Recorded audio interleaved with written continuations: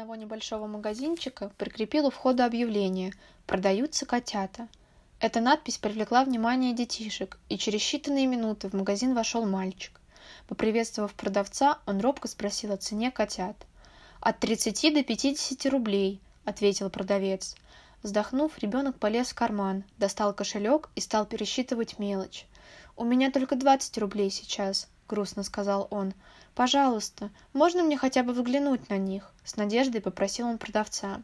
Продавец улыбнулся и вынул котят из большого короба. Оказавшись на воле, котята довольно замяукали и бросились бежать. Только один из них почему-то явно от всех отставал и как-то странно подтягивал заднюю лапку. «Скажите, а что с этим котенком?» – спросил мальчик. Продавец ответил, что у этого котенка врожденный дефект лапки. «Это на всю жизнь», – так сказал ветеринар, – добавил мужчина. Тогда мальчик почему-то очень заволновался. «Вот его-то я и хотел бы приобрести», да ты что, мальчик, смеешься? Это же неполноценное животное. Зачем оно тебе?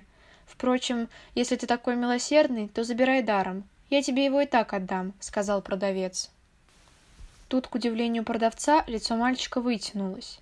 «Нет, я не хочу брать его даром», — напряженным голосом произнес ребенок. «Этот котенок стоит ровно столько же, сколько и другие, и я готов заплатить полную цену. Я принесу вам деньги», — твердо добавил он. Изумленно глядя на ребенка, сердце продавца дрогнуло. «Сынок, ты просто не понимаешь всего. Этот бедняжка никогда не сможет бегать, играть и прыгать, как другие котята». При этих словах мальчик стал заворачивать штанину своей левой ноги. И тут пораженный продавец увидел, что нога мальчика ужасно искривлена и поддерживается металлическими обручами. Ребенок взглянул на продавца. «Я тоже никогда не смогу бегать и прыгать. И этому котенку нужен кто-то, кто бы понимал, как ему тяжело, и кто бы его поддержал, дрожащим голосом произнес мальчик. Мужчина за прилавком стал кусать губы. Слезы переполнили его глаза. Немного помолчав, он заставил себя улыбнуться.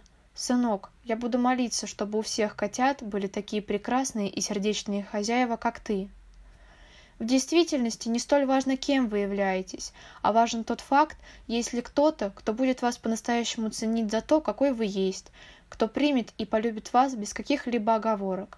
Ведь тот, кто идет к вам, в то время как весь мир уходит от вас, и есть настоящий друг.